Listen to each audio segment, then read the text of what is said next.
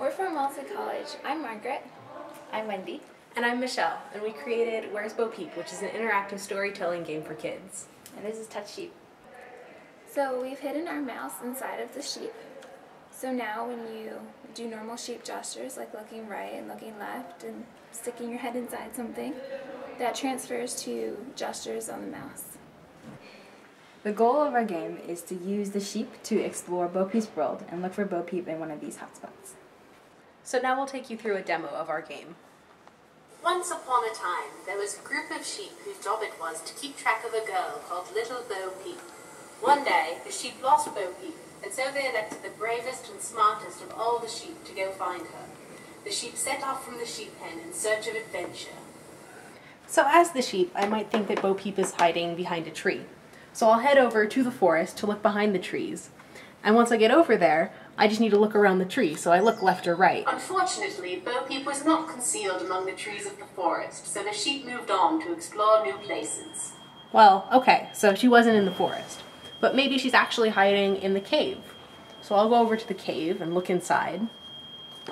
Alas, the cave contained only bats, and so the sheep continued to the next obstacle.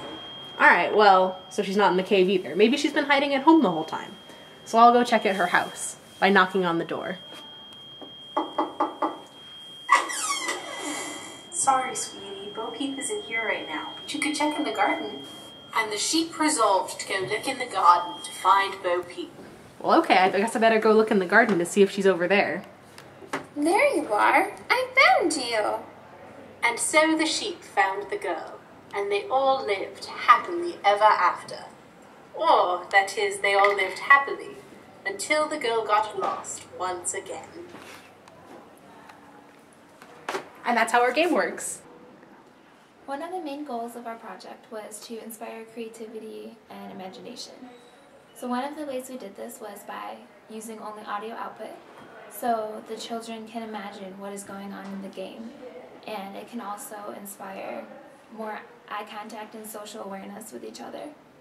Another way we did this was by using kid-friendly materials. We used clay for the cave, we used normal rocks and hot glue for the well, and we used clay and just regular little leaves for the trees. So this could let kids allow, or kids could be allowed to make their own materials as well. I hope you enjoyed watching our demo. If you have any questions or feedback, um, email us at where'sbopeep at gmail.com. Thanks for watching. Bye.